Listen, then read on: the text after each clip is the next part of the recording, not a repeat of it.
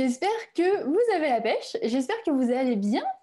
Bah, comme vous avez pu voir, on survit au crash de Google, donc euh, je suis super contente de vous retrouver. C'était pas sûr, mais voilà, c'est bon, on est là. Euh, aujourd'hui, je suis avec Elora Potra. Bonjour Elora. Bonjour. Euh, bonjour à tout le monde dans le chat. Du coup, bonjour à Gauthier, Virginie, Thierry, Séverine, Nabil du côté YouTube. Je pense que Alexandre va vous partager le lien pour nous rejoindre du côté de Behance. et du coup, bonjour à tous les gens du côté Behance. Donc, Pierre-Étienne, Delphine, Marc, Emilien, Clémentine, Pierre. Oui, bah Pierre-Étienne, je t'ai déjà dit, mais je te dis bonjour deux fois. Sketchup Mayo, Greg, David, Marc. Donc, bonjour à tout le monde. N'hésitez pas à poser vos questions pendant le live. C'est vraiment pour ça. Et vraiment, n'hésitez pas. voilà. Et Laura, elle sera contente de, répondre. Oui, est-ce que j'ai dit du possible Alors j'attaque avec une petite question de Marc, comme ça c'est fait. Il me demande sais-tu s'il y aura un live avec Aurore Bay et Laura Lhuillier cette semaine? Alors oui, parce que vous avez pris l'habitude de euh, les retrouver tous les mardis. Alors cette semaine, euh, non, comme c'est la dernière semaine avant Noël, avant les fêtes, on a repris une programmation un petit peu plus classique et euh, on va. Elles reviendront sûrement l'année prochaine c'est prévu au programme. Donc voilà. Donc cette semaine, euh, on prend euh, des invités, des nouvelles têtes. Euh, et bien voilà. Je crois que c'est bon.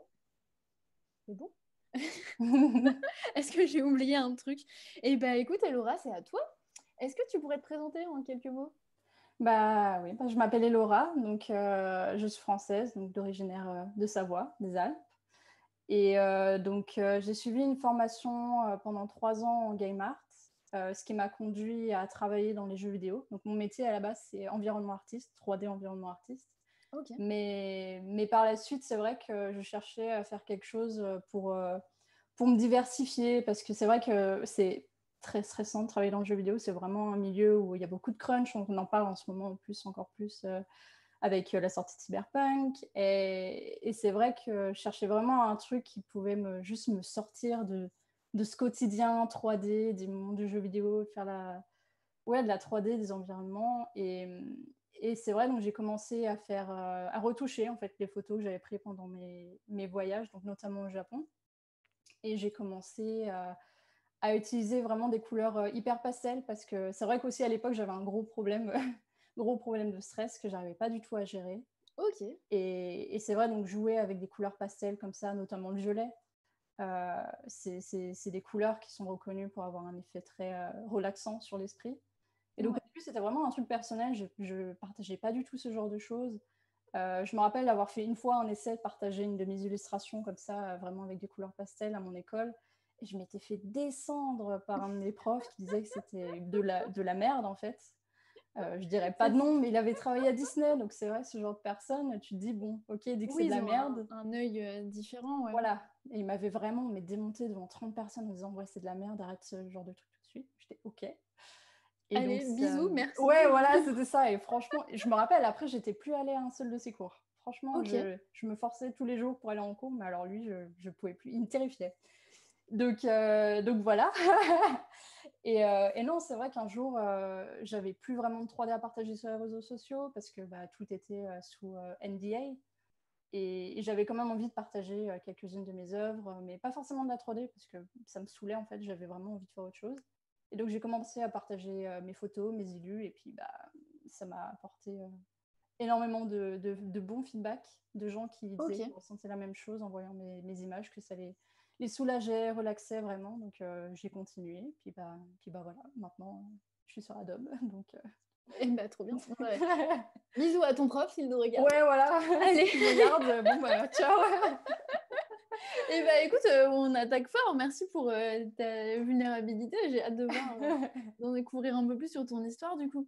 Il y a Alexandre qui vient de nous partager ton écran. Donc comme ça, on peut se, on peut se faire une meilleure idée de à quoi ça ressemble. Donc, euh, je te laisse te promener dans le site. Et, euh, donc voilà, donc ça c'est la partie photographie vraiment. Donc euh, ok.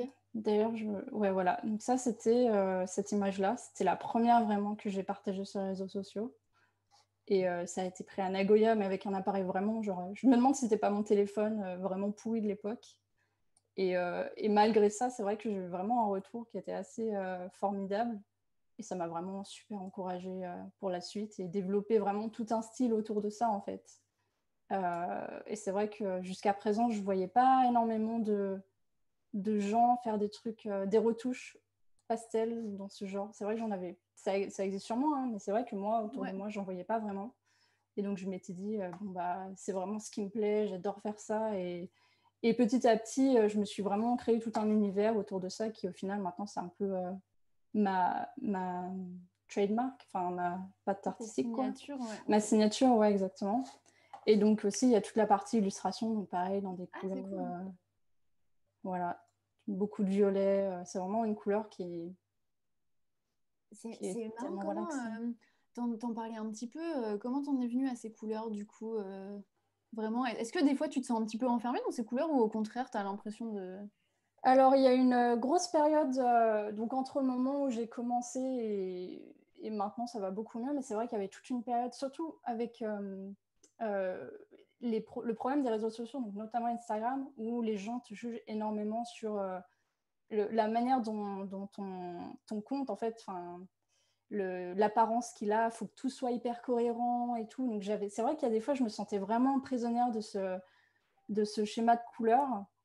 Mais en même temps, à côté de ça, c'est, vrai que c'est des couleurs qui, moi, m'ont toujours énormément attirée. C'est vrai. Euh. Donc il y, a une, une, grosse partie où je me disais, j'ai pas envie d'être connue que pour ça. Ok. Mais, mais au fur et à mesure, c'est vrai que moi, j'ai énormément d'autres projets à côté qui, au final, euh, ont fait que euh, maintenant, ça va, ça me dérange plus trop je me sens beaucoup moins prisonnière en fait. C'est vrai qu'il y a une période, c'était très frustrant, mais maintenant, euh, c'est redevenu un, plaisir euh, de, de, refaire des, des œuvres euh, et des, des, retouches photos, même de la 3D dans ces couleurs-là. C'est vrai que maintenant, ça me, ça me gêne plus trop. Je pense que à l'époque, c'était. Je faisais tout moi-même. Enfin, j'étais mon propre community manager. C'est vrai qu'à l'époque, je répondais à tout, absolument tous mes DM. Euh, c'était énormément de travail je pense que c'était aussi le petit côté un peu burn-out qui, commençait à, dire j'en ai marre, il faut que je prenne un break de tout ça ou je fasse complètement autre chose, je sais pas, mais donc non. Mais non, maintenant, au contraire, je, fais encore plus de violets et de, de tons comme ça euh, qu'avant, donc, euh, donc non, j'en suis sortie. Et du coup, ouais, carrément, est-ce que tes clients ils viennent te voir pour ce style-là et du coup, euh, tu leur fais euh, du violet ou est-ce que tu peux leur proposer euh, autre chose? En général, j'essaye de leur proposer d'autres choses, mais ils reviennent tous vers ce style Ah, mais j'aime bien cette palette de couleurs. Ou des fois, ils me montrent carrément une image, ils me disent une de mes illus ou une de mes photos, ils me disent Je veux cette couleur, enfin ces couleurs-là sur mon truc. Quoi. Donc, ils, ils, ont déjà en général en tête les couleurs pour lesquelles, bah, pour lesquelles je, je suis connue, entre guillemets. Oui, carrément. des gens qui, qui, veulent autre chose que ça, en général, c'est, c'est vrai que c'est, devenu assez rare. ou alors, c'est des gens qui sont dans le jeu vidéo plutôt. Donc, à ce moment-là, c'est de la 3D. Et puis, bon, bah, malheureusement, pour l'instant, je ne peux pas trop montrer. Mais tout ce qui est vraiment illustration, ouais, c'est, c'est, la plupart du temps, tout le monde Ah, est-ce que tu peux ajouter un peu de violet ici? Et puis, au final, ça, ça devient tout violet. c'est trop bien. Alors, je, je, regarde les messages. On a Pierre-Étienne qui dit un site avec une unité chromatique qui me remémore le Tumblr Naéromancer. Tu connais ou pas? Pas du tout, non. Ah bah je connais pas. Trop bien, faudrait qu'on aille regarder. Euh, SketchUp Mayo dit très jolie palette de couleurs. Euh, bah, bah, bonjour à Laurent, bienvenue. Delphine dit euh, en effet, on sent l'influence des studios Ghibli, c'est superbe. Tu penses que tu as été influencée par Ghibli aussi Énormément, ouais. ouais. C'est toujours très difficile de vraiment de, de, dire qu'est-ce qui m'a euh, inspiré euh, précisément parce qu'il y a énormément de choses et c'est vrai que même grandir euh, dans les Alpes, c'est vrai que ça m'a j'étais tellement avec en plus la famille que j'avais, c'est vrai qu'on allait tout le temps se balader, tout le temps en montagne. J'ai une grand-mère qui elle est passionnée de botanique, donc j'étais toujours très attentive à ce qui m'entourait.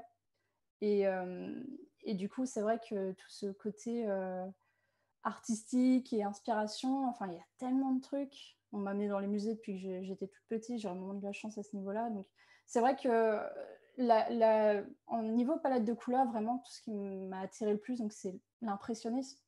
C'est vrai que c'était très. Euh, enfin, moi, ça m'avait beaucoup marqué quand j'étais petite. J'ai adoré Monet, c'est vraiment incroyable.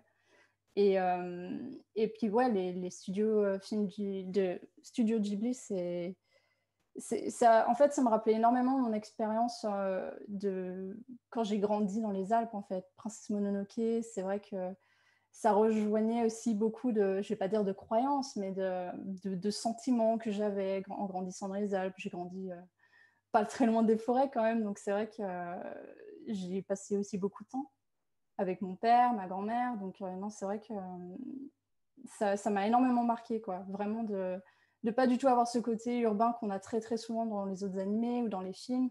Euh, ce côté vraiment, euh, la relation de l'humain avec la nature, euh, c'est vrai que moi, Studio Ghibli, ça m'a ça m'a beaucoup marqué. Hein. D'ailleurs, ça m'avait un peu déçu en arrivant au Japon. J'étais, ah, c'est pas si proche de la nature que Ils sont pas très proches de la nature, mais du coup, ils ont besoin très Studio Ghibli pour, voilà, pour rêver un peu, c'est clair. j'étais arrivée, j'étais, ah, Ouais, bah ouais. Et du coup, c'est marrant parce que quand tu parles de ça, ça fait. Bah voilà, tu parles de la proximité avec la nature et tout. Et finalement, c'est des couleurs qui n'ont pas du tout ce ressenti-là. Comment tu arrives à reconnecter les deux? En fait, euh, ce que je trouve hyper intéressant, c'est de. Parce que moi, il y avait un truc que j'adorais dans la nature, qui me manquait énormément, même aujourd'hui, c'est être au calme, en fait. Vraiment être euh, hyper calme, hyper zen. Juste ce sentiment de, de contempler le paysage et je trouve qu'avoir des paysages urbains avec cette palette comme ça très relaxante, justement, sur une, en plus avec une ville comme Tokyo, qui est quand même, pour ceux qui ont eu la chance d'aller à Tokyo, c'est une ville qui dort quasiment jamais. Donc, vraiment retrouver ce côté euh, urbain, hyper actif et d'avoir ces paysages euh, qui, en général, euh, on ne sait pas où donner de la tête, de mettre cette couleur palette dessus et d'un coup avoir un paysage urbain qui est hyper calme, qui est serein, qui... Enfin, vraiment appliquer ce que je ressentais, euh, moi, dans ma petite campagne, dans mes petites montagnes, à, euh, à une ville euh, hyper active comme Tokyo, quoi. Vraiment retrouver ce côté, je me pose, tranquille, et, et voilà, quoi. C'est trop bien, c'est hyper intéressant ton... Je sais pas si sensation et ta matière de vue. Bah, Moi, je trouve ça super clair. Dites-moi ce que vous en pensez dans le chat. Je trouve ça hyper, hyper intéressant. Euh, Greg dit euh, très jolie palette de couleurs. On a SketchUp Mayo qui dit euh, je comprends pour la pression de la grille Instagram. Instagram je n'arrive pas à me cantonner à un seul style. Ça c'est Irina dit pareil. D'ailleurs ça pourrait être intéressant de faire des sessions l'année prochaine sur les grilles Instagram et tout je pense. Ouais, je pense que c'est un problème avec beaucoup d'artistes ça, la pression Instagram. Est-ce que, euh, est-ce que bah, tiens, pendant que je, vais te lire, j'ai quelques questions qui, qui, sont cool. Tu pourrais nous montrer un petit peu plus d'illustrations comme ça, qui montrent un petit peu euh, ton point de vue?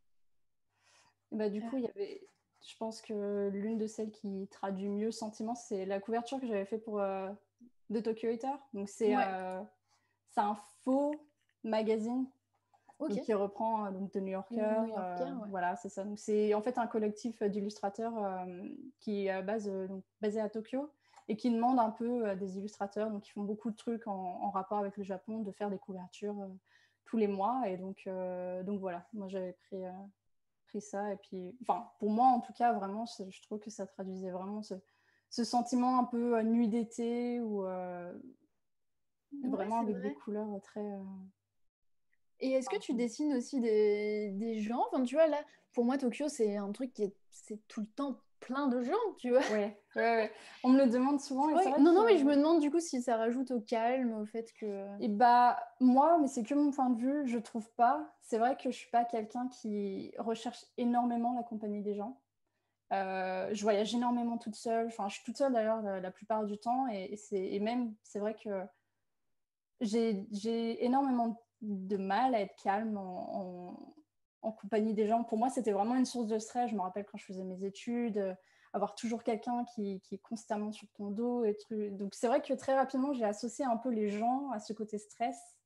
Et, je suis vraiment quelqu'un qui a besoin d'être seul pour pouvoir se ressourcer. Donc, ces illustrations, y ajouter quelqu'un à l'intérieur, enfin, pour moi, enfin, en tout cas pour moi, hein, c'est vrai que ça ne serait pas enfin, je, ça enlèverait un peu, un peu ce côté relaxant. Et puis non, c'est vrai que même je ne prends pas énormément de plaisir à dessiner des, personnages ou quoi que ce soit. Des chats, des petits animaux à la limite, qui rejoignent un peu ce côté euh, très nature. Mais c'est vrai que les, les, êtres humains n'ont pas tant que ça. C'est vrai que Ok, c'est intéressant, c'est vraiment cool. Tu as un point de vue qui est hyper, hyper clair, hyper défini. C'est hyper, chouette. J'ai eu une question de SketchUp Mayo qui demande comment tu t'es fait connaître en tant qu'illustratrice suite à ta reconversion après le monde du jeu vidéo? Il dit reconversion entre guillemets. Ouais. Non, c'est vrai que du coup, je, je suis pas du tout. Enfin, je fais vraiment ces trois trucs photo, illustration et jeux vidéo en, parallèle. Enfin, c'est mon quotidien, quoi.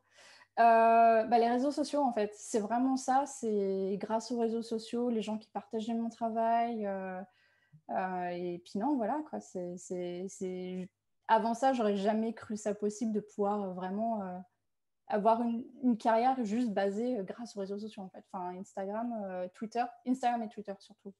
Vraiment, ça m'a énormément aidé. Et puis, puis non, voilà. C'est...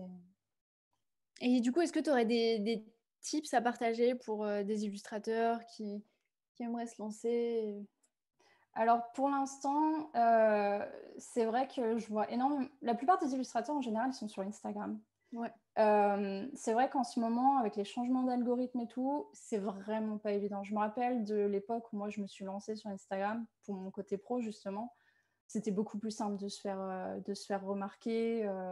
Alors que maintenant, j'ai l'impression, enfin, je vois tellement d'artistes qui sont vraiment super, hein, qui stagnent à des, un nombre de followers pas ridicule, mais qui n'est pas du tout représentatif de eux, du travail qu'ils fournissent, de leur talent. Enfin, c'est... Donc, moi, mon premier conseil, ce serait vraiment de se diversifier. Et donc, il y a Twitter aussi, c'est vraiment pas mal. Oui, a beaucoup de... sur euh, les Sur les réseaux sociaux, ouais. Donc, euh, Twitter, euh, même bah, Behance, tout simplement. C'est vrai que, bon, pour, être honnête, c'est vrai que Behance... YouTube aussi, c'est le premier moteur de recherche vidéo et tout. Donc, Ouais, ouais. YouTube, je pense qu'il faut... YouTube, je pense qu'il y a énormément de gens Enfin, il faut avoir euh, quand même un esprit, euh, enfin, le cœur assez accroché pour YouTube, je pense, pour avoir des amis qui sont là-dedans, justement. Ils ont énormément de critiques très, très souvent. Euh, juste des gens qui sont là pour troller ou juste pour parce qu'ils ont envie de. Mais tu vois, moi j'avais cette impression de Twitter et tu me dis que Twitter pour toi ça marche pas mal. Ouais, bah franchement, Twitter, moi pour le coup, je trouve que c'est même peut-être plus sain que beaucoup. Enfin, ça dépend. Ça dépend vraiment. Je pense euh, le fait que moi, je partage aucun avis politique, aucun... Enfin, vraiment, je, je suis là que pour poster euh, mes artworks, c'est tout. Et ça marche. Après, c'est vrai que si tu veux partager un peu plus sur ta vie, un truc comme ça, faut... C'est compliqué, quoi. Mais c'est vrai que moi, un de mes conseils, c'est vraiment de se diversifier, quoi. Non seulement parce que du coup, les Instagram, ça peut partir très très vite, comme j'en ai fait l'expérience la semaine prochaine. Et euh, mais non, parce que Instagram, du coup, on en parlait, il y avait vraiment ce côté aussi stress de d'avoir une, une sorte d'unité euh, colorimétrique en fait sur ta page parce que sinon c'est vrai que ça interpelle moins les gens et tout.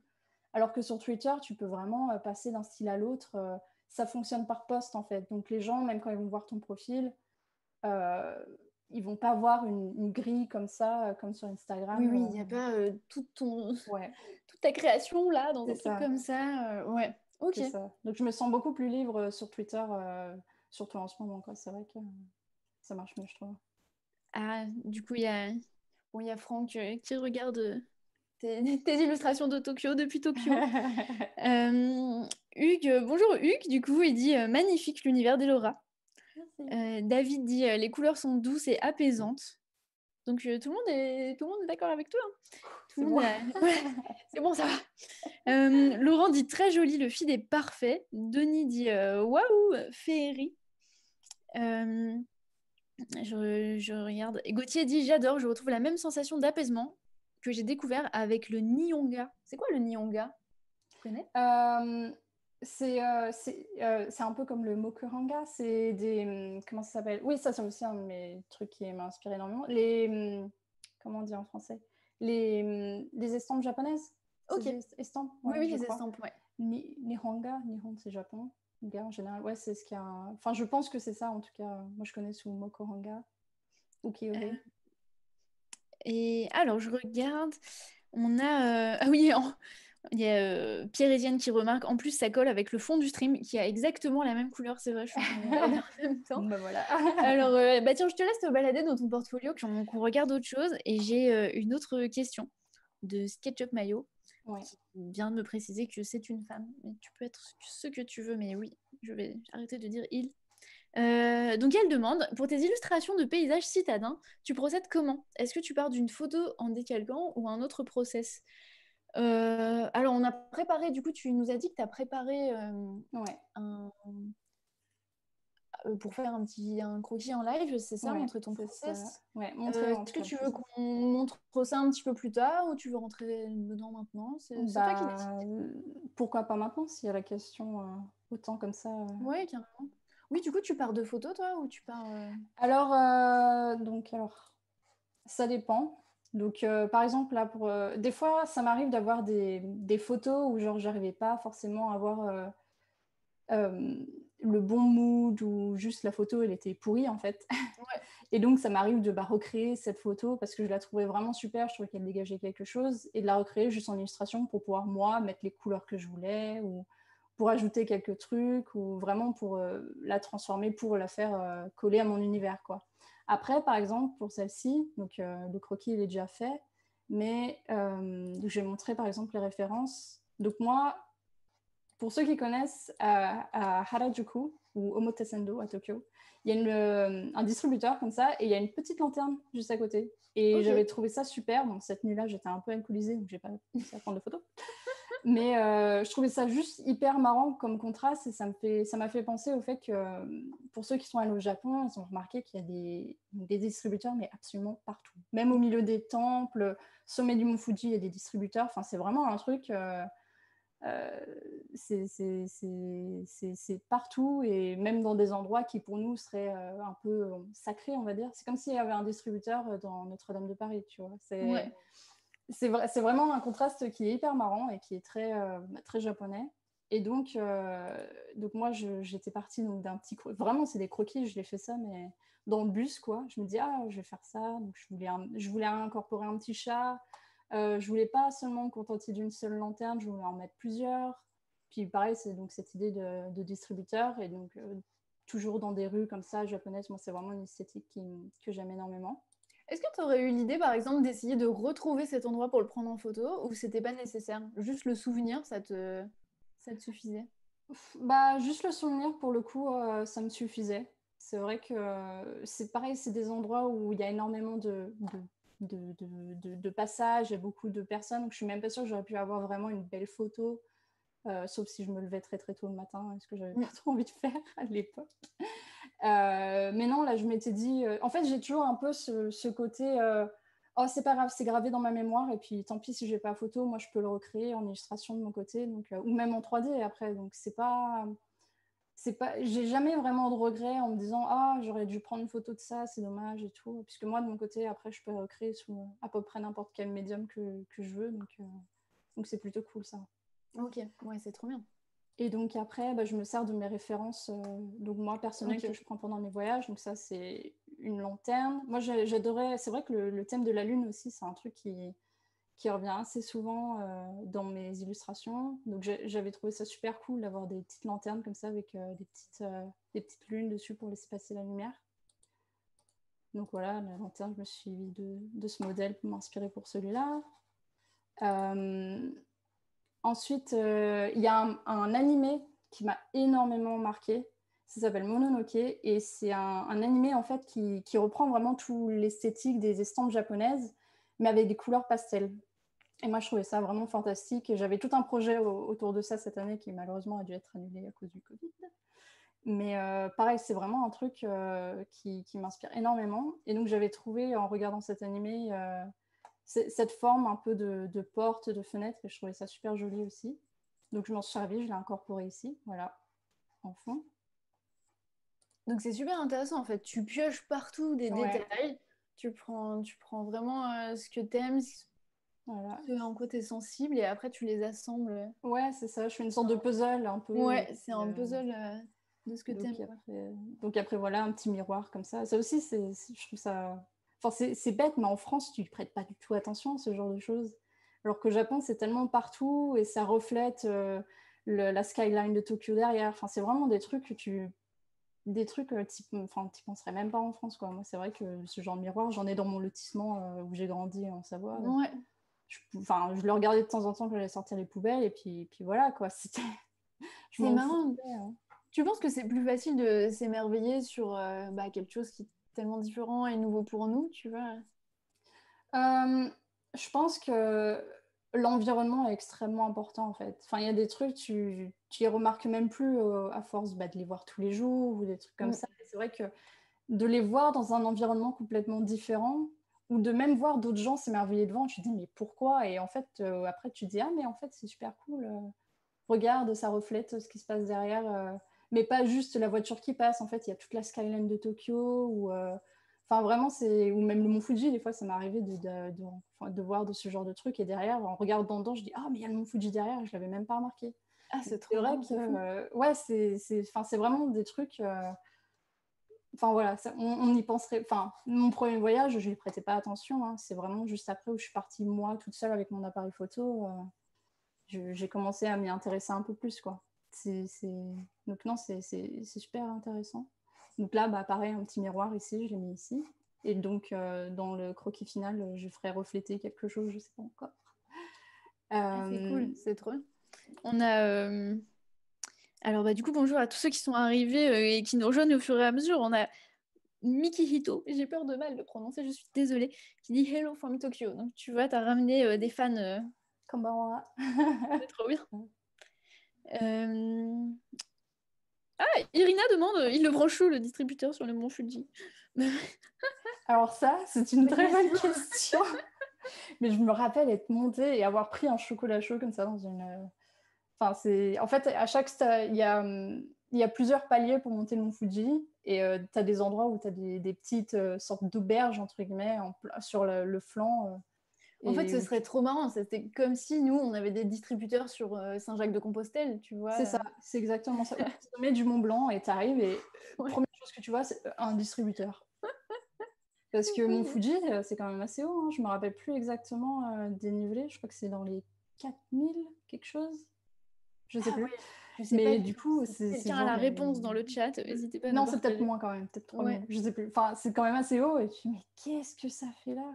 Puis c'est un volcan en plus, tu te dis, mais quoi? D'où? C'est trop marrant. Bah, c'est marrant parce que ça recolle avec ce que tu disais sur euh, la connexion avec la nature. C'est ouais, c'est gibier et tout. Et en fait, quand tu arrives dans la réalité, tu es là genre. Mais... C'est ça. Non, mais c'est vrai que moi, ça, j'étais pas choquée, mais j'étais vraiment très. Enfin, j'étais juste confuse, je comprenais pas. J'étais, mais pourquoi le besoin de. Bon, après, c'est vrai, quand tu arrives au sommet du Mont Fuji, en général, tu veux bien ton petit chocolat chaud, t'es content. Hein. Mais, euh, mais non, c'est vrai que c'était c'était vraiment trop. À côté des, des tori, donc c'est les, les, portes japonaises, juste à côté de ça. Et... donc, vraiment, ce contraste, moi, je trouvais ça. En fait, c'est ça qui m'intéresse énormément au Japon aussi. C'est vraiment le contraste euh, très, très marqué de l'ancien et du hyper nouveau. Enfin, du vraiment. Euh, de toutes ces machines et tout, beaucoup plus que dans les autres pays que j'ai pu visiter. Et puis même au niveau des, c'est vrai, des, des gens, ils, ils, ont quand même énormément de traditions euh, qui sont encore bien, bien vivantes et qui, qui maintiennent, qui maintiennent en vie. Juste se balader en kimono, enfin, nous, on se baladerait pas en tenue Marie-Antoinette, tu vois. Enfin, ça nous paraîtrait tellement bizarre, alors que là-bas, c'est vraiment leur quotidien. Donc c'est vrai que quand je, je, retourne au Japon, à chaque fois, c'est aussi pour voir ce contraste de passé, présent, futur même, qui est, qui est assez unique, je trouve. Euh. Donc, euh, non, non, voilà, c'est vrai que ces distributeurs, euh, c'est, tu les vois absolument partout. Et puis les Japonais, ils comprennent pas pourquoi les étrangers prennent en photo ça, parce que pour eux, justement, c'est un truc qui est pas du tout exceptionnel. Enfin, voilà, c'est comme ton miroir en bas de chez toi. voilà, c'est exactement ça. Oui, ça plus, quoi. Genre. Donc, tu as tous les étrangers, les gaijin, on appelle ça là-bas. Qui prennent ça en photo euh, sous toutes les coutures et puis eux, bah, qu'est-ce qu'ils font tu vois? Même, de, même de mettre ça dans un artwork, c'est pas forcément quelque chose auquel ils penseraient, je pense, pour, pour beaucoup. Alors que pour nous, c'est genre, ah, ça ajoute quelque chose et tout. ah, c'est euh, intéressant. Du coup, tu penses que ton style, il, il plaît plus aux, aux non-japonais Tu vois, ou les japonais, ça, le... ça leur donne un regard euh, nouveau sur quelque chose qu'ils voient tous les jours? Je pense que pour l'instant, euh, ça plaît plus aux non-japonais, euh, mais aussi euh, parce que j'ai un. Enfin, c'est pas, pas compliqué d'atteindre un public japonais, mais c'est vrai que les japonais et l'anglais, c'est quand même pas. C'est pas simple en fait. Donc, vu que moi, je communique énormément en anglais, des trucs comme ça, c'est vrai que je pense que ça touche beaucoup plus aussi les, juste ceux qui parlent anglais parce que bah, c'est plus accessible pour eux. et puis, c'est vrai que surtout, surtout ces dernières années, j'ai remarqué que le Japon c'est quand même devenu une destination euh, vachement à la mode. Je me rappelle quand j'étais au lycée, tout le monde se moquait de moi parce que j'adorais le Japon et tout. oui, maintenant, tout le monde tous les, tous les youtubeurs, ils vont tous au Japon, ils font des chaînes sur le Japon, c'est trop marrant. Non, non, c'est ça. Et donc, euh, je pense qu'il y a aussi ce gros effet de mode qui, participe au fait que je pense que mon public, il est, il est surtout américain, en fait, d'ailleurs. Très, très américain. Pas mal de Français aussi, parce que c'est vrai que les Français et France et Japon, on a quand même des relations. il y a une relation. ouais Hyper, euh, hyper intéressante. Ouais, ouais, ouais. Mais, mais non, je pense que de ce que j'ai vu, je pense que vraiment ça plaît beaucoup plus euh, aux euh, non-japonais. Bon, après, j'ai peut-être pas encore accès à ce, ce public-là pour justement peut-être les raisons que j'ai exprimées. Mais... Ouais, carrément. Bah, écoute, je travaille dessus. Hein. ça nous fait voyager, ça nous fait du bien. Alexandre nous a partagé la odeur du mont Fuji, qui est de 3776 mètres.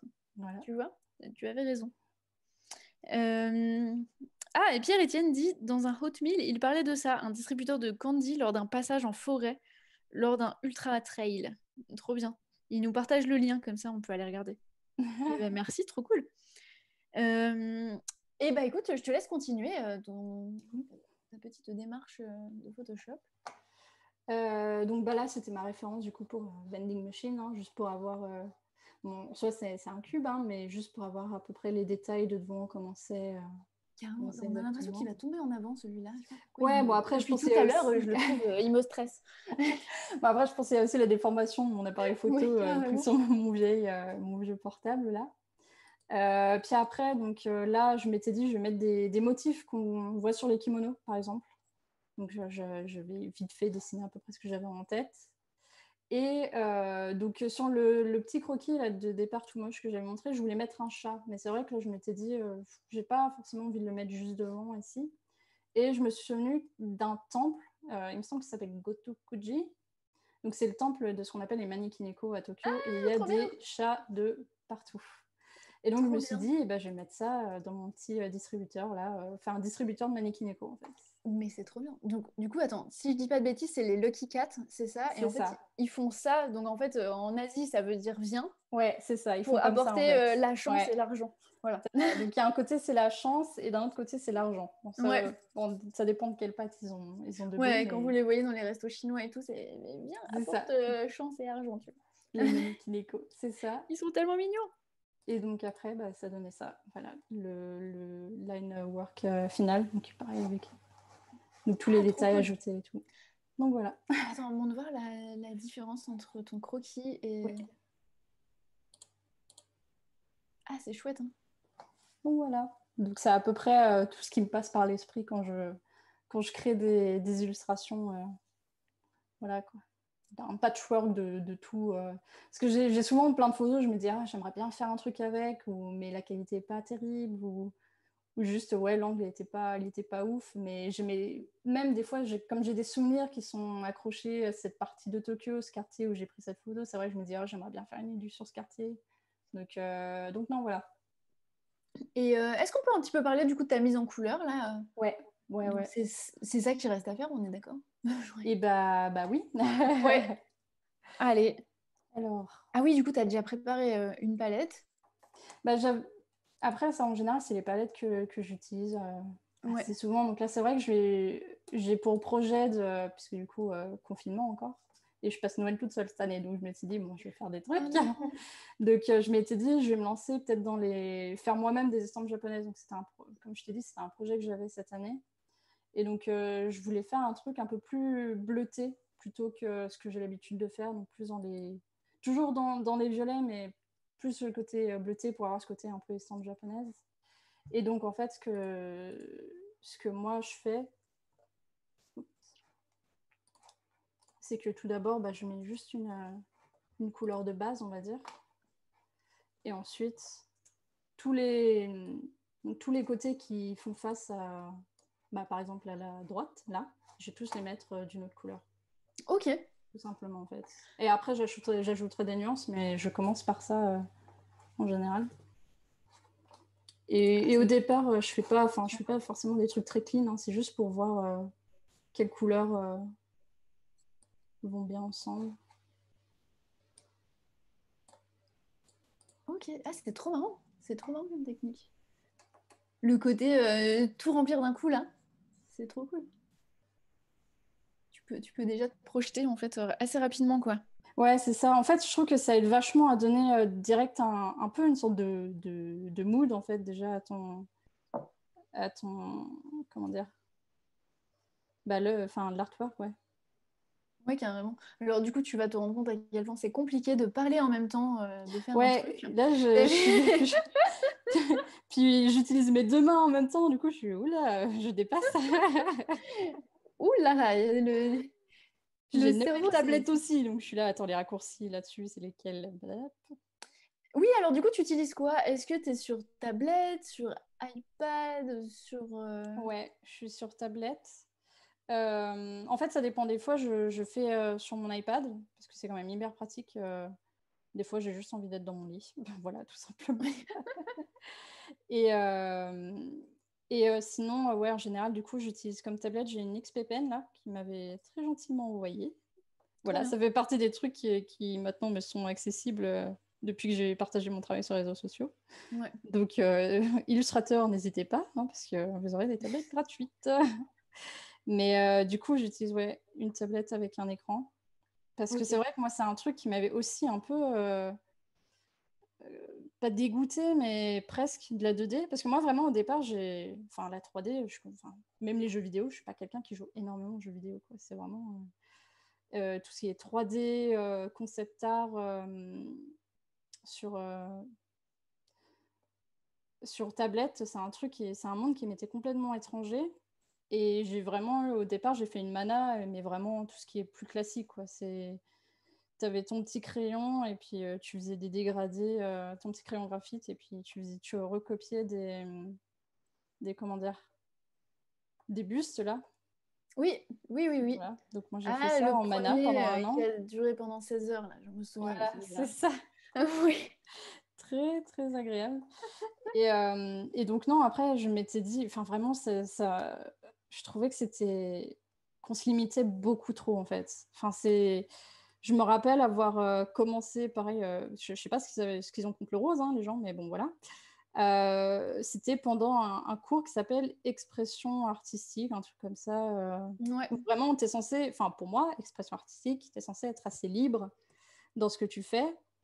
Et j'avais fait un arbre dans les tons un peu rose-violet et, et la prof m'avait dit mais non, c'est pas possible, ça n'existe pas dans la vraie vie. J'étais ok. D'accord. Je croyais qu'on était en art ici. donc, euh, Ouais, d'accord. Ah, c'est hyper intéressant, c'est trop marrant. Et du coup, euh, ça m'avait énormément frustrée parce que bah moi, euh, enfin la réalité c'est cool, tu vois, mais en tant qu'artiste, j'ai envie de faire plus que ça, plus que que faire une, juste une dépiction de, de la réalité. Enfin moi, ça m'intéressait pas en tout cas. Je sais qu'il y a des gens, c'est ce qu'ils aiment faire. Moi, c'était, enfin recréer ce qui est déjà là, ça m'intéressait pas du tout en fait. Je voulais vraiment créer des trucs un peu plus fous. Euh, c'est vraiment euh, du coup euh, une sorte de crise existentielle qui en a suivi un petit peu parce que je me suis dit bon ok je peux même plus faire d'art parce que j'arrive pas à m'exprimer même en art. Et c'est un jour juste en rentrant chez moi le métro j'ai vu cette cette petite comment cet encart publicitaire dans le métro qui disait ah école de jeux vidéo et tout sur Lyon j'étais oh jeux vidéo, c'est quand même super cool. Tu peux créer des, des mondes, euh, tu as deux lunes dans le ciel et personne ne va venir te faire chier. je me suis dit, c'est peut-être. le meilleur argument de la Terre, ça, c'est trop C'est peut-être une piste à exploiter. Donc, euh, j'y suis allée et ça a immédiatement. Euh, enfin, vraiment, immédiatement, c'était le déclic. Je me suis dit, mais, mais oui, c'est ce qu'il me faut. C'est ce que je veux faire de ma vie. Et comment tu penses. je sais qu'on a, on a pas mal de. On a pas mal de jeunes qui nous regardent et qui posent souvent la question de est-ce que c'est important de faire une école? Toi, ce serait quoi ton point de vue euh, là-dessus? Alors oui et non. Euh, en soi, après, ça dépend de ce que tu veux faire. Mais moi, en soi, euh, en jeu vidéo, par exemple, c'est un métier qui est très nouveau. Donc déjà, tu n'as pas forcément accès aux écoles. Tout, le monde n'a pas la chance d'avoir une école spécialisée dans le jeu vidéo à côté de chez soi. Ouais. ou dans son pays, tout simplement même. Mais il y a quand même un truc qui est pas négligeable, c'est que si on veut travailler à l'étranger, en général, pour les visas, les diplômes, ouais. c'est quand même quelque chose qui est enfin, presque essentiel. Quoi. Je sais qu'il y a beaucoup de gens qui ont essayé, par exemple, d'aller au Canada, des trucs comme ça, et s'ils n'avaient pas forcément de diplôme, et pas forcément genre, genre 20 ans d'expérience derrière, c'était hyper compliqué pour eux. Et du coup, c'est vraiment pour ça, moi, je m'étais dit, bon, je vais faire une école. au bout d'un moment, ça me saoulait parce que c'était encore pas exactement ce que je voulais faire. Puis ce fameux, euh, oui, ce personnage qui m'avait un peu traumatisé, n'est-ce pas Qui envoyé sur euh, au chou là. Et euh, c'est vraiment, j'étais restée pour ça. Je me dis, allez, tu peux le faire. Tout ce qu'il faut, c'est que tu aies ce, ce diplôme pour toi après pouvoir travailler dans n'importe quel pays. Parce que déjà, j'avais en tête de, de, partir de France. Donc c'est vrai que quand j'avais cet objectif, voilà. Après, si par exemple, pour ceux qui veulent, euh, souhaitent ne pas partir de France, en soi, il y a tellement de ressources maintenant sur YouTube, euh, des trucs comme ça que je suis pas sûre que vraiment faire une école, ce soit euh, par rapport à ce que moi, ça m'a apporté en tout cas. Et au retour que j'ai eu aussi de, de pas mal d'élèves, pas tous, il y en a qui ont trouvé ça très cool et qui ont adoré leur expérience et tout. Moi, c'est vrai que par rapport à ce que j'ai investi et, et, ce que ça m'a rapporté, vraiment, genre, ce que l'école m'a apporté et, même sur mon CV, au final, je trouve que dans, les métiers comme euh, la photographie, l'illustration et les jeux vidéo, donc les trucs que je, fais en général, les gens ils regardent ton portfolio, ils regardent pas ton, regardent pas ton CV, les études que tu as fait et tout. Donc euh, au final, euh, peu importe si tu as fait une école, ce qui importe, c'est ce que toi, tu arrives à présenter sur ton portfolio, la technique, comment tu t'entends au sein d'une équipe ou des trucs comme ça. C'est vraiment pas Enfin, moi, à aucun moment, on m'a demandé de présenter un CV. C'est vrai que. Oui, c'est clair, carrément. Ouais, pour nuancer un petit peu, c'est vrai qu'une école, ça permet d'être euh, ben, discipliné, tu vois, d'y aller tous les jours, de bosser tous les jours, de rendre des projets et tout. Tout seul, c'est peut-être moins évident des fois. Ouais. Ouais, c'est ça. Et aussi, ça, ça fait euh, ton réseau. C'est là où tu le construis, en fait. Euh, les élèves, euh, ça, dépend, ça, dépend, je pense. Euh, oui, c'est vrai, ça dépend des écoles. C'est là où vraiment tu te construis euh, tous les gens que tu, tu connais et avec qui tu vas bosser plus tard, ou tu vois que tu te fais un... T'es pas tout seul en fait. Donc ça, c'est l'avantage, quoi. Non, non, c'est sûr. après, niveau réseau, moi, je suis pas sûre que ça m'ait énormément aidé. Mais pareil, c'est encore une fois, c'est, je pense que pour ceux, par exemple, donc j'ai fait une école qui était à Lyon. Euh, donc la plupart des profs étaient à Lyon. C'est vrai que j'avais en tête, je savais que j'allais pas rester à Lyon. Quoi. Donc en soi, si par exemple les gens qui voulaient rester et bosser à Lyon, oui, là clairement, ça leur a fait un carnet d'adresses de fou. Pour ceux qui voulaient voir un peu plus loin, euh, je suis pas sûre que ça les a aidés énormément. Euh, mais ouais, non, après, c'est sûr que si tu as besoin d'avoir quelqu'un qui te cravache un peu derrière, il vaut mieux aller dans une école. Si tu pas capable de faire euh, de travailler euh, de, de, telle heure à telle heure chaque jour sans que quelqu'un soit derrière pour dire hey, euh, fais gaffe, il y a ça. Euh. Oui, carrément, c'est important ça quand même à, préciser, je pense. Tu vois. Ouais, ouais. Parce que c'est vrai que moi, du coup, j'avais toujours en tête de, bah, du coup, d'être hyper indépendante. Donc, je savais depuis le départ que j'allais devoir devenir un peu plus mature à ce niveau-là. Bah, après, ce qui est je pense que l'école, il faut aller la visiter avant, il faut aller parler aux élèves, il faut aller regarder, il faut voir euh, si, si elle nous convient, en fait. C'est ça. Euh, Thierry, il y a aussi des vieux typos qui sont là. Mais non, si tu es là, c'est que forcément tu es jeune. non, c'est trop bien. Le, le, public de Adobe, c'est vraiment tout le monde et je trouve ça trop fort. Et et voilà, n'hésitez pas à partager votre expérience. Euh, je sais que l'école, c'est un débat qui revient souvent. Mm. J'ai une question de Marc qui demande pourquoi tu travailles sur Photoshop et pas sur Fresco? Euh, Parce que juste, j'ai l'habitude en fait. C'est vrai que euh, depuis je sais pas combien de temps, j'étais sur Photoshop. Moi, c'est vrai que c'est aussi avec ça, pour, sur le, j'utilise pour retoucher mes photos en fait. Ouais. Et du coup, en fait, des fois, je juste, oh, j'en ai marre de retoucher cette photo et je bascule juste sur, euh, sur mon illustration, en fait. Du coup, euh, c'est c'est juste plus simple pour moi, en fait. Ouais, carrément. Et comme tu disais, tu as aussi une tablette euh, qui a un écran, tu as une Cintiq. Ouais, voilà. Du coup, du coup voilà, tu as aussi cet effet, cet, effet iPad. C'est sûr. Et puis, quand je fais de la 3D, mes textures, je les fais sur Photoshop aussi. Donc je peux faire, euh, enfin je fais vraiment tout sur Photoshop. Donc voilà. Trop bien. Bah ouais, ouais, carrément. Bah c'est vrai que parfois, euh, je sais qu'il y a plein d'outils, mais c'est bien aussi d'en connaître un euh, à fond sur lequel on se sent super bien, quoi. Oui, c'est sûr. Non, et puis c'est vrai que moi, ce que j'aime bien aussi justement avec ce côté d'avoir plusieurs, plusieurs casquettes, c'est que j'utilise vraiment plein de fonctionnalités de Photoshop que bah, je n'utiliserais pas forcément si je faisais que de l'illustration ou si je faisais que des textures pour de la 3D dessus et tout. Euh.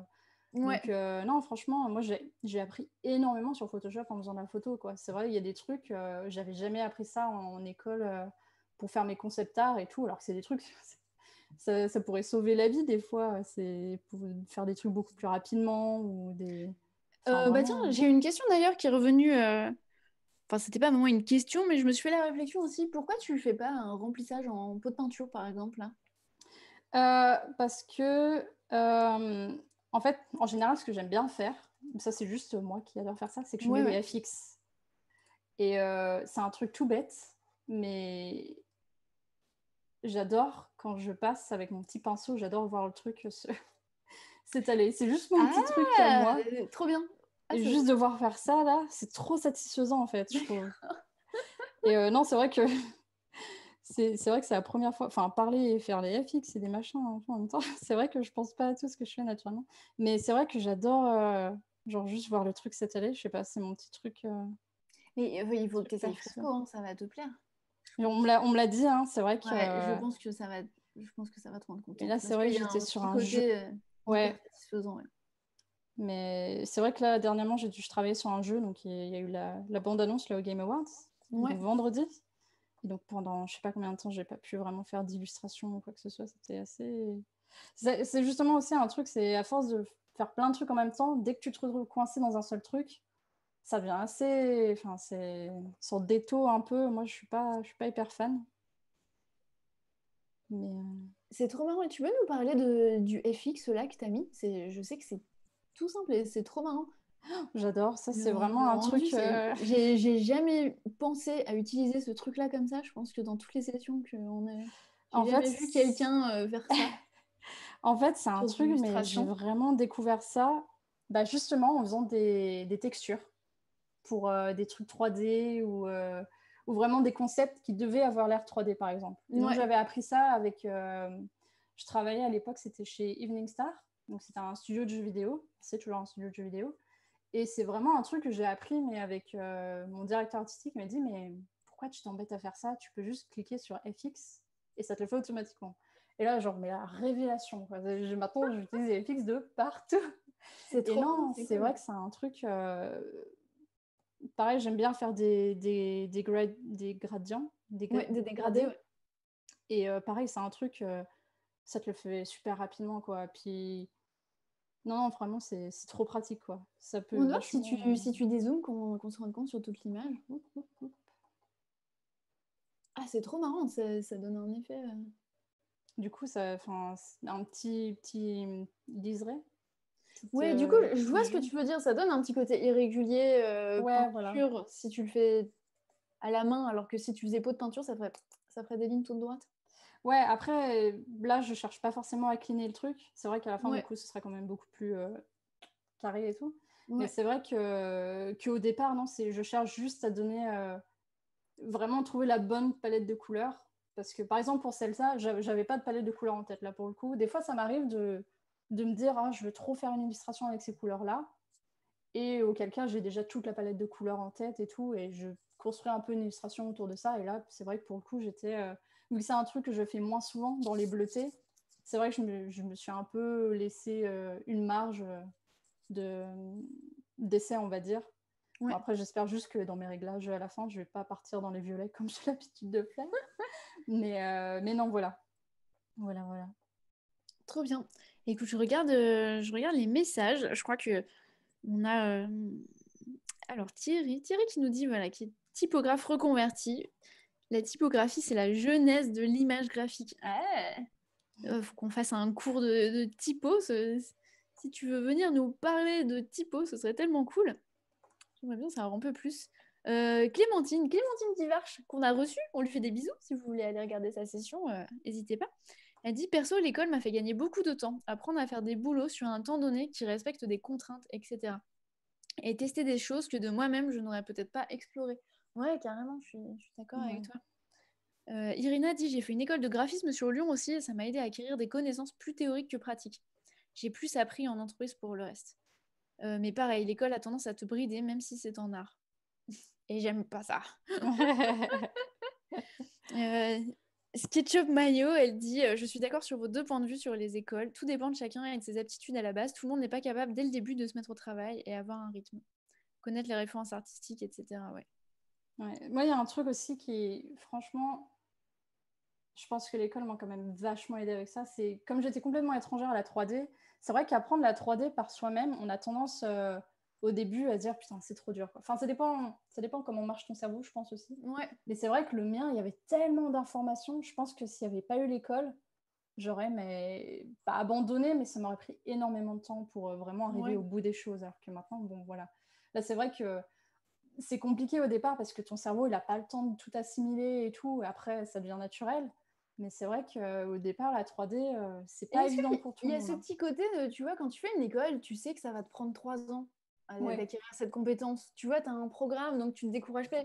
Moi, j'ai l'impression que la 3D, je vais regarder trois tutos et je vais ah, j'y arriverai jamais. Ouais, c'est un peu ça, en fait. C'est ça. C'est... Là, c'est vrai, tu dis, bon, ils ont prévu trois ans pour que moi j'apprenne ça, ça veut dire qu'il me faut trois ans. Donc c'est pas grave si en une semaine tu, tu sais pas en fait. Voilà, c'est ça. Alors que tout seul, euh, c'est pas, pas toujours évident. Donc voilà, je pense que c'est chacun doit trouver son truc. Lise dit l'école c'est super pour découvrir, découvrir l'univers de plein d'autres étudiants. Ouais, carrément. C'est vrai. Ah, ça dépend en fait. ça dépend. Euh, ouais, parce que par exemple, bah, je reprends mon exemple un peu de la mana, c'est qu'au final, bah, dans ce truc d'expression artistique, la prof, elle disait non à chaque euh, initiative justement artistique et à la fin, on se retrouvait à avoir tous les mêmes trucs.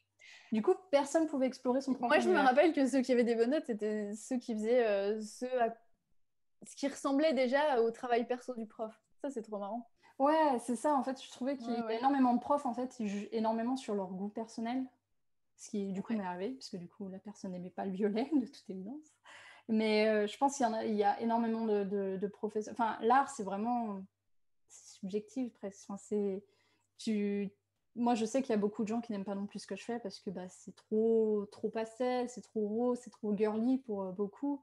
Et c'est OK, euh, tu vois. Et c'est tout à fait OK. Mais quand ces personnes-là, c'est tes profs qui après te donnent une note, je trouve que ça, bah peut, ça peut brider un petit peu aussi parce que tu te retrouves à faire que ce qui va te permettre de décrocher un job, ce qui en soi est tout à fait normal. Aussi, l'école, elle te prépare à ça, à pouvoir avoir un job à la sortie. Mm. Mais c'est vrai que je trouve que pour après, toi, développer ton propre style personnel, c'est quand même compliqué parce que ça, vraiment, ça te conditionne à faire que ce genre de truc parce que c'est ce qui va te permettre de décrocher un job ou c'est ce qui va faire le mieux sur ton portfolio. Euh, c'est ce que les gens recherchent, voilà, enfin des trucs comme ça. Donc c'est vrai que moi, par exemple, euh, il y avait euh, à l'époque, je ne sais pas si c'est toujours le cas, mais il y a 2-3 ans, c'était euh, le réalisme à fond. quoi. C'est ça, il euh, faut bosser à Ubisoft. Euh. Oui, il y a les trends et tout. Mais je pense que les, les, trends, elles sont aussi présentes sur Instagram quelque part. Ah oui, oui c'est sûr. Un peu, bah, on en a parlé, le Japon, hein, c'est encore à la mode. Ça se trouve, dans deux ans, les trucs, tout le monde sera là, genre, oh, c'est nul, le Japon, on s'en fout et tout. on a Clémentine qui nous dit Je suis prof aussi maintenant et je vois que même mes meilleurs élèves ont des trucs à gagner. Après, c'est des études onéreuses et avec de la détermination, on peut carrément y arriver sans passer par les études et apprendre sur le tas au fil des commandes. Ouais. Ouais. Bah après, pareil, ça dépend ce que tu veux apprendre, mais c'est vrai que moi, j'ai fait une école pour le jeu vidéo et c'est vrai que ma deuxième et ma troisième année, en fait, c'est aussi ça qui me, dit, qui me fait me dire que les études, c'était pas forcément. Voilà. Ma deuxième et ma troisième année, j'ai appris beaucoup plus en regardant des tutos YouTube qu'en allant en cours. C'était. Euh, c'était très frustrant de me dire putain, je paye 7500 euros l'année et tous mes, mes connaissances, j'ai appris sur un tuto YouTube. C'était quoi tes études? C'était. C'était. Ouais, j'ai fini il y a deux ans, je crois. Ok, parce que c'est assez. Deux, trois ans. Ouais. moi, je me dis, quand j'ai fait mes études, YouTube n'existait même pas. Donc, je pense qu'il y a aussi, ça change avec l'époque dans laquelle on vit. Je pense aussi, ouais. Tu vois ce que je veux dire? C'est vrai que maintenant, c'est devenu euh, plus accessible, les connaissances et tout, elles sont. Euh, Non, non, c'est sûr. Je pense qu'il y a, il y a 15 ans, il fallait, fallait t'arracher, quoi, si tu voulais. Maintenant, c'est vrai que. Non, maintenant, c'est tout est accessible. Puis même, tu as des, as des cours en ligne où tu payes bah, juste pour avoir ce tuto-là et tout. Et, parfois, bah, c'est c'est de, de, meilleurs conseils que même certains profs que tu as. Hein. Je me rappelle une prof d'animation, elle ne savait pas animer. Bon. D'accord. Et donc, dès qu'on lui posait des questions, ou alors des fois, il y a des gens qui sont juste pas pédagogues, en fait, c'est pas forcément de leur faute, mais à ce moment-là, tu fais pas tu fais pas prof, tu vois, ou alors tu, tu dis pas non, enfin tu dis pas oui quand on te propose d'être intervenant si tu sais que tu sais pas vraiment expliquer les trucs. Ouais, euh, et il y a beaucoup de, de, de, trucs comme ça. Euh, on en parle souvent avec les anciens élèves. On dit, purée, oui, cette personne, euh, jamais compris l'animation parce qu'à chaque fois que je lui posais une question, elle disait, ah, je sais pas. Parce que même elle, elle suivait, en fait, elle avait imprimé une feuille avec les étapes et du coup, dès qu'il y avait un problème au sein même de ces étapes, elle était, je, je, sais pas. je sais pas, ça rentre pas dans la case. C'est ça. Donc, ouais, bah, après, c'est ça, c'est comme partout, il faut aussi avoir des profs passionnés et compétents. Oui, c'est ça. Je pense qu'il y en a beaucoup, euh, ils te les foutent un peu partout parce qu'ils ne savent pas où les mettre des fois. On a Sketch euh, Mayo qui nous partage euh, une typographe. Je vais aller regarder ça. Typographe française à la fonderie de... dans une fonderie à New York. Je vais aller regarder ça. Et j'ai, bah, il nous reste quelques minutes. Et du coup, je vais en profiter. Je, pense que c'est une bonne question pour, pour conclure. Clémentine demande comment Elora voit son travail évoluer. En devenant bah, déjà la rapidité. C'est vrai qu'il y a une époque où je, mettais mes deux semaines pour faire une élu.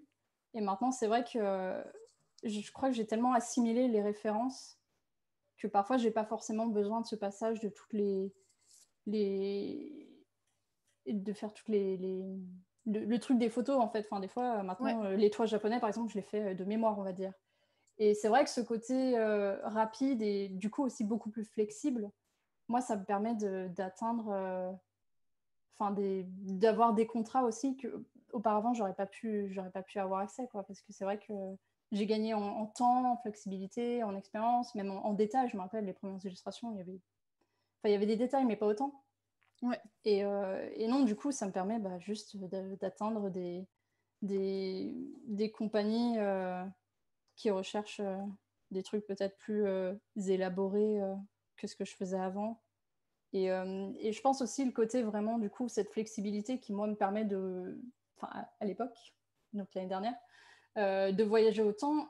je trouve qu'il y a beaucoup, enfin, moi, en tout cas, les, en général, les, sociétés, enfin, les entreprises qui me contactent, en général, c'est oh, on est trop fan de tes voyages et tout. Enfin, en général, il y a beaucoup d'emails comme ça qui commencent par euh, ouais, je trouve ça trop cool ton mode de vie ou des trucs comme ça. Et, et c'est vrai, pareil, c'est des trucs qui si je m'étais juste contentée, je pense, du jeu vidéo, j'aurais peut-être pas pu avoir accès à, ce genre de truc et pouvoir être aussi flexible dans tous les projets que je fais et de savoir de passer euh, comme ça d'un truc à l'autre. Euh. donc, euh, non, non. C'est... Après, je pense que est-ce que je vais faire ça toute ma vie? Je ne sais pas. Peut-être qu'à un moment, je serai plus stressée aussi. Donc, bon, là, la période est forcément un peu. Mais du coup, vu que tu es stressée, tu fais plein d'illustrations merveilleuses et violettes, tu vois. Continue de me stresser. Donc, euh, quelque part, euh, voilà. C'est moi la pression. Franck euh, dit la passion. Je pense qu'il fait référence à tes profs qui n'avaient pas l'air très passionnés. Ouais, je, pense s'entourer de, de, gens super passionnés qui sont tellement. Bah, qui aiment beaucoup partager et tout. Et c'est clair, je, je vois. Bah, je le vois avec Franck, dès qu'il ouvre dès que je suis en galère sur un truc, il est là, ah mais regarde, c'est ça, ça, ça. C'est tellement cool en fait. Euh, j'ai une question de Marc pour toi et on va terminer là-dessus. Euh, par hasard, Elora ne donnerait pas des cours sur Skillshare ou sur une autre plateforme d'illustration ou de 3D euh, On m'a déjà proposé de faire ça et c'est vrai qu'à chaque fois ça tombait en plein milieu de 3000 projets. Du coup, c'était pas possible quoi.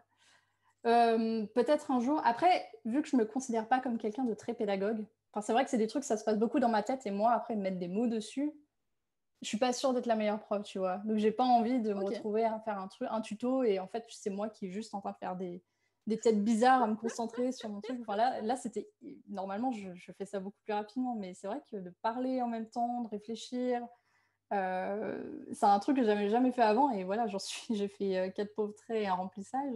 Non, t'inquiète pas, tous les artistes disent la même chose, c'est normal. Donc non, non, je, je suis pas sûre de, devoir expliquer tout mon process et tout. c'est vrai que pour l'instant, je ne suis, pas, je suis pas à ce point-là, malheureusement. Oui, c'est un entraînement. Bah, tu sais, on reçoit Atom tous les jeudis et il disait que lui, depuis qu'il est tout petit, depuis qu'il a commencé, en fait, il s'entraîne à parler en même temps qu'il fait tout ce qu'il ah fait. Donc en fait, euh, dès qu'il clique sur quelque chose, il dit alors là, je clique là. Et en fait, il parlait tout seul depuis des années. Et du coup, maintenant, il est hyper rodé. Euh, tu, tu l'arrêtes plus. Hein. Ouais. Donc euh, je pense que c'est un entraînement, tu vois. Ouais, non, moi c'est un truc qui m'est encore assez étranger. c'est compliqué, hein, franchement. ouais, carrément. y paraît. On est bien sorti. Est-ce que tu peux nous montrer ton illustration du coup, voilà. du coup, Work in Progress, tu voilà. nous dessus, qu'on puisse la voir. Tu peux aussi la partager euh, sur le Discord, on a un Discord de la chaîne. D'accord. On va t'envoyer le lien, tu peux rejoindre. Euh, n'hésitez pas à aller voir. Euh, et ben voilà, je pense que c'est bon. Je... Sauf si tu as envie d'ajouter quelque chose, mais... Bon, écoute, je pense qu'on a fait un, bon tour quand même déjà. Je, crois qu'on a fait le tour. Et ben merci à tout le monde. Euh, Nadine dit superbe travail. Franck dit merci à tous, c'était top. Euh, il se prépare pour demain 10h. Donc demain 10h, vous retrouvez Franck. Et euh, demain 14h, vous retrouvez moi avec Nicolas. ça va être cool. Ça va être cool aussi. Des trucs de lumière qui bougent et tout. Ça va être hyper sympa. un profil qui, est un peu différent. Delphine dit merci beaucoup. C'était tip top. Voilà. Et bah écoutez, je vous fais des bisous à tous. Euh, je, regarde si on a d'autres questions. Je crois que c'est bon. Normalement, c'est bon. Je suis désolée si j'ai raté quelque chose. Si j'ai raté quelque chose, vous venez poser vos questions sur Discord et on se fera un plaisir d'y répondre. Euh, merci à Laura. C'était cool. C'était gentil de. Un grand merci à Sketchup Mayo euh, qui a posé plein de questions et tout. Et merci pour les réponses. Bah, merci pour les questions. et bah, je fais des bisous à tout le monde et puis on se retrouve demain. Allez, au revoir.